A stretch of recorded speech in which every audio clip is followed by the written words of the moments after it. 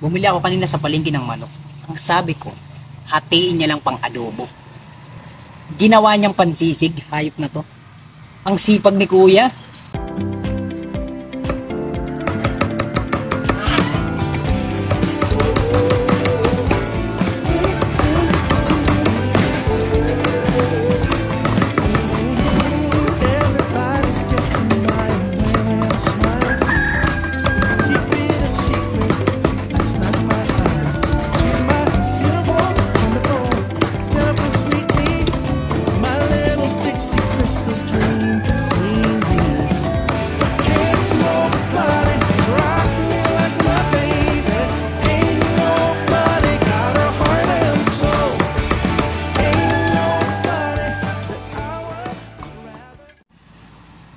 Stress ako dito kay kuya.